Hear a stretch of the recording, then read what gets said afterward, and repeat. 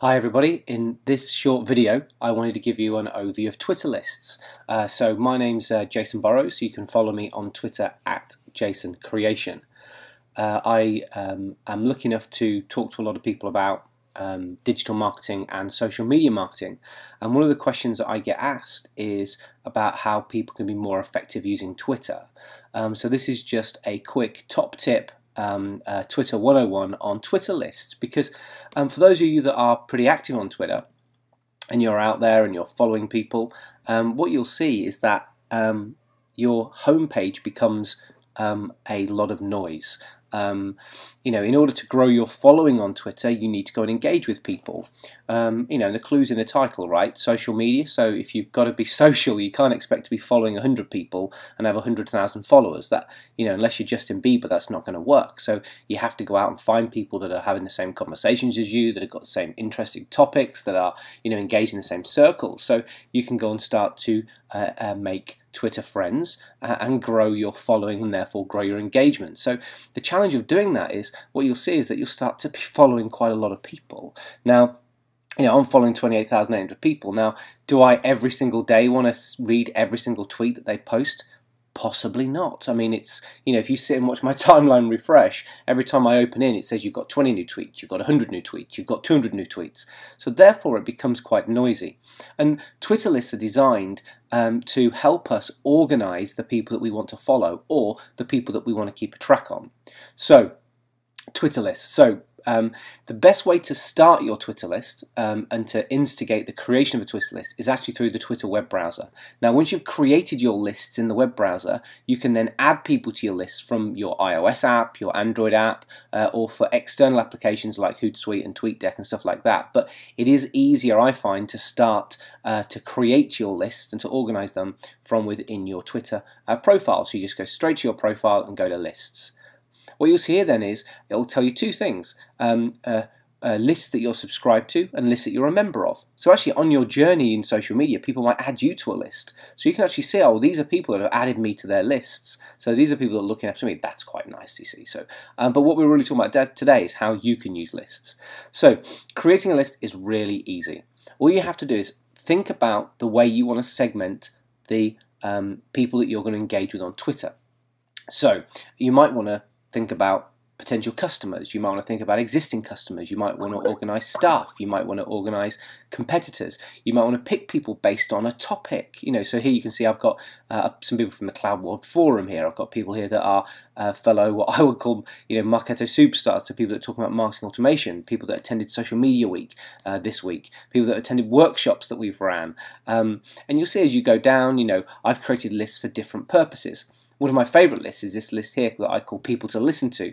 So this is where I'm adding people that uh, on a daily basis, you know, this is the one feed that I want to go to, you know, to see, you know, what's going on in the world of digital marketing. And you'll see here there are some great people like Kim Garst, Jeff Bullas, you know, uh, Martin Jones, Ann Handley, and you can either look at the feed or you can go straight to the members and see who's a member of this.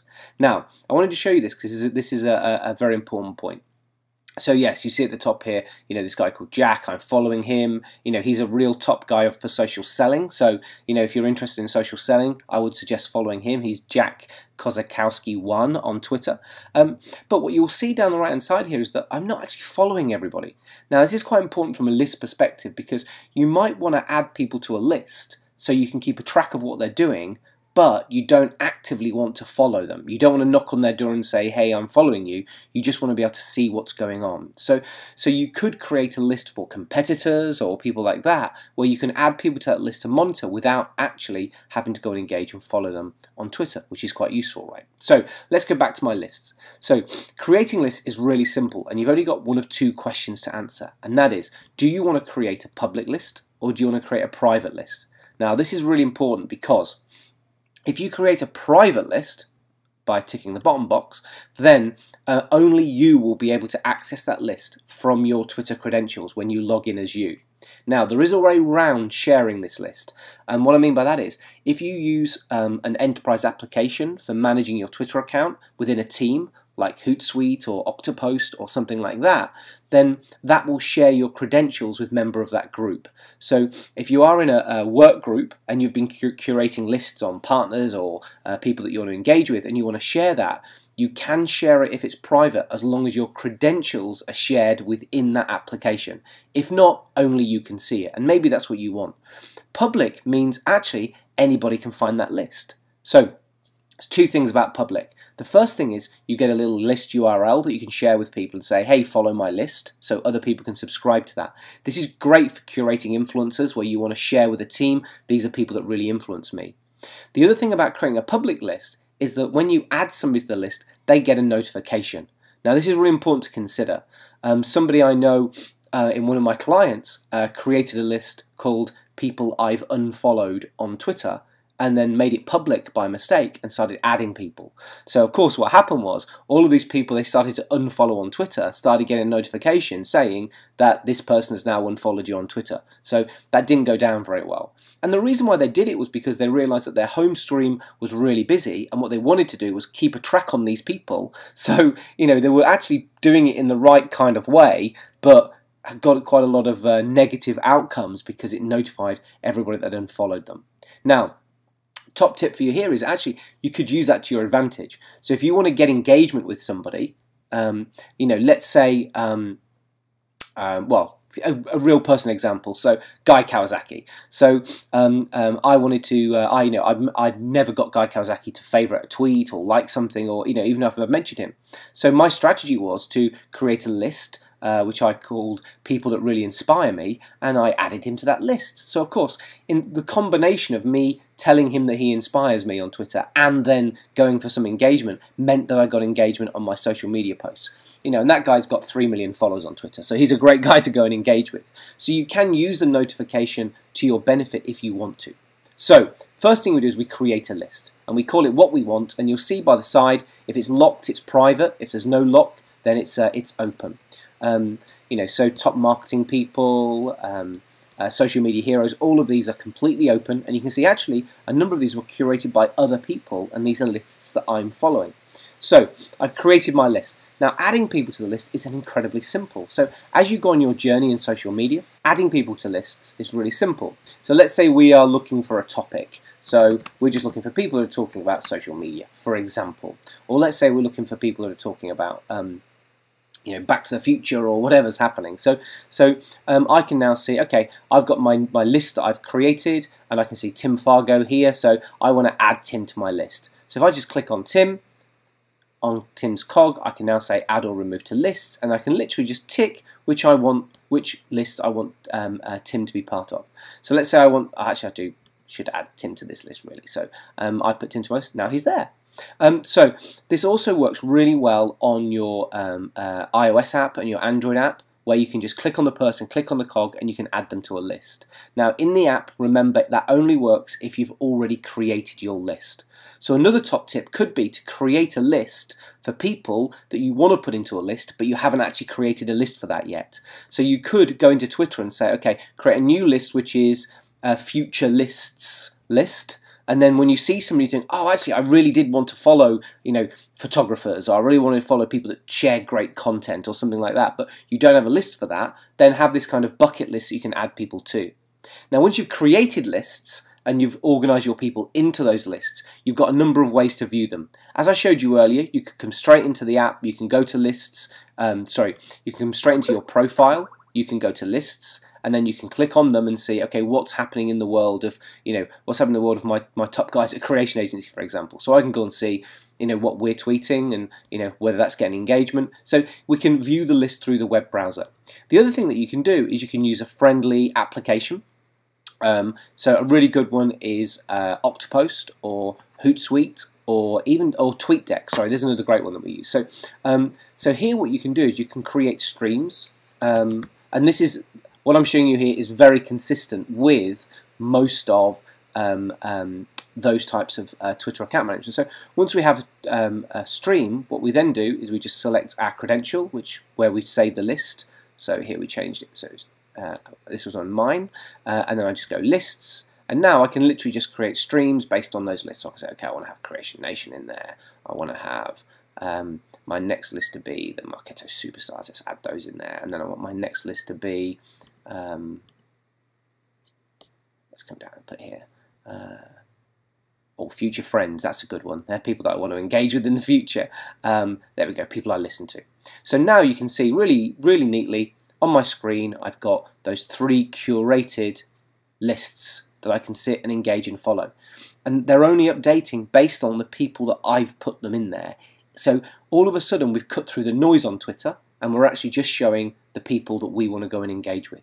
So for me, lists are a real lifesaver to organize it when you're getting busy and you're following lots of people and you just want to jump in and see a little piece of content. So I did want to leave you with one final tip for lists, which is, of course, um, please feel free to add me to your one for great content. So that was at Jason Creation. But another great tip I've got for you is at some point there might be an event happening or there might be something happening or some movement happening on Twitter that's related to a hashtag. Um, so let's say you know you want to find people that are talking about Star Wars because you want to engage with fans of Star Wars. Now, what you can do is you can do what I did earlier, which was this manual search and go and find people. But what you might also do is think about this in a clever way. So let me give you a good example. So the Cloud World Forum. So there's a Cloud World Forum event this year. Uh, and part of my uh, job is I work with big IT companies, so I like to keep an eye on what's going on at uh, cloud type events. So in the Cloud World Forum event, there were lots of people there and there were lots of people tweeting. In fact, if you have a look, there were 755 people uh, that were at this event. But I didn't curate those manually. What I did was I used an amazing free piece of software, uh, which I'm going to show you now, called If This Then That. There's an iOS app for this, which is just called If, or the website is ifttt.com. So if then, if this then that is a Ruby on Rails uh, program that allows you to uh, create what they call recipes to make things happen. Um, so what I've done is put a little recipe in place, and I can show you my recipe here that says if somebody tweets, then do something with Twitter. And this is called hashtag cloud World Forum tweeters. So if I just show you this script.